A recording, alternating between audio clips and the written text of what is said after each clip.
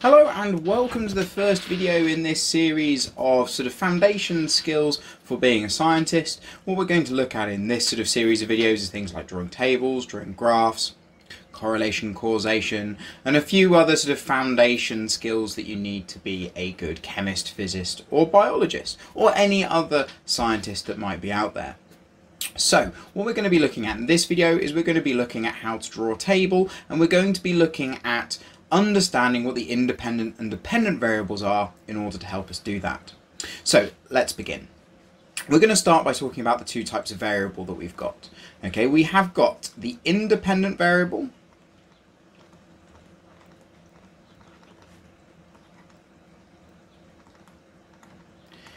and we have got the dependent variable.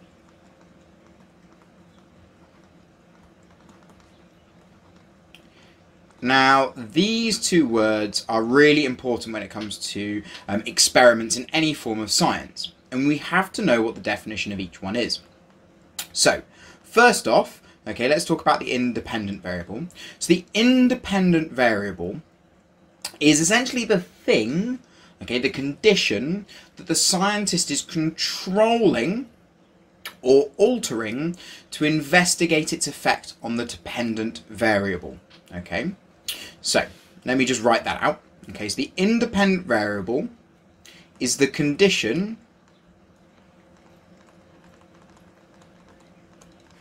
being controlled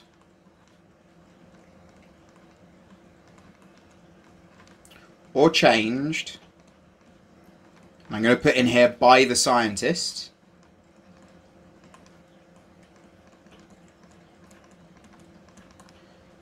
To investigate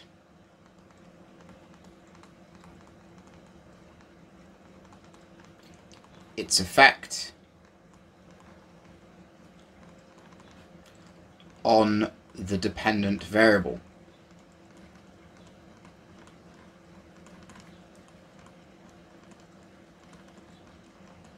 Okay, now in isolation, that statement's a little bit confusing because we don't yet know what the dependent variable is.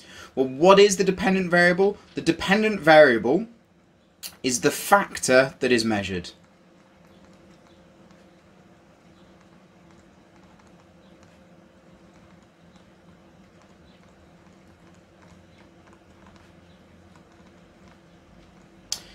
in an experiment. Let's say, for example, we have a biologist, and what they want to look into is they want to look into the effect that light has on the growth of a plant. There we go, masterful artistry skills for you. So we have two things here that the scientists have identified. One is light, and the other is the growth of the plant.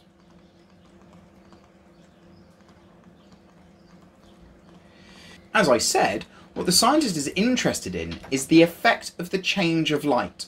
So already, using that terminology, we can identify our light as the independent variable.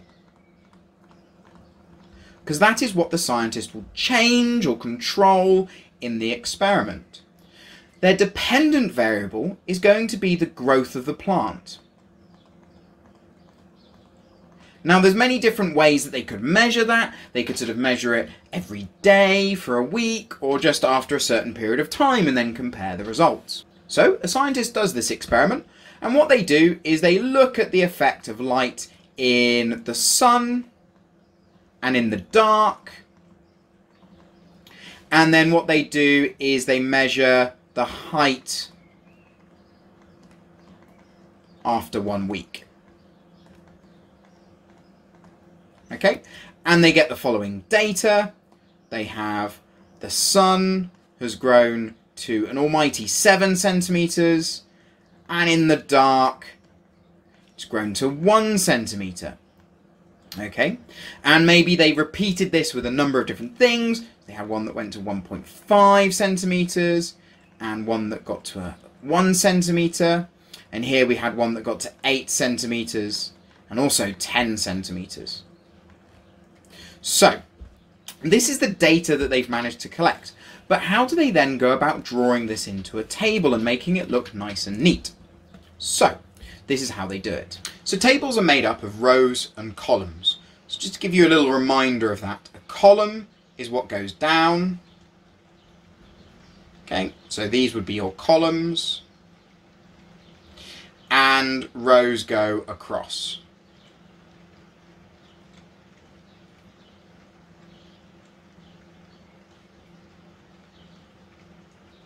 So we've got to draw a table using rows and columns.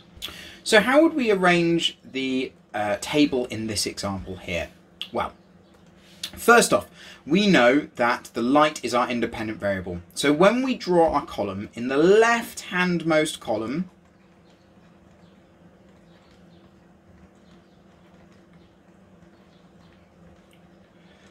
goes the independent variable.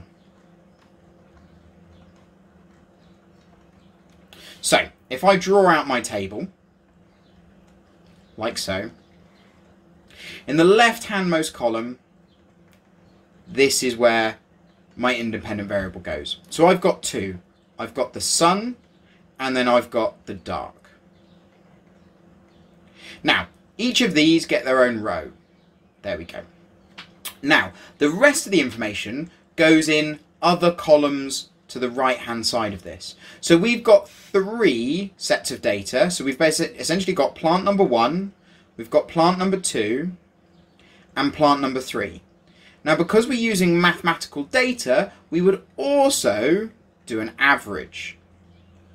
Now you might not always have an average because this could just be observations, okay, but what you notice is the data is now going to go to the right hand side of where our independent variables are.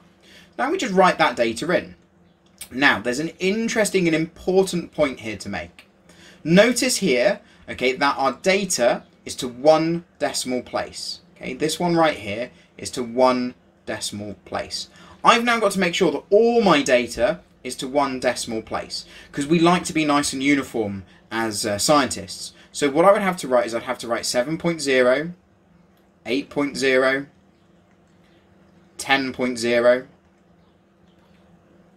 1.0, 1.5 and 1.0.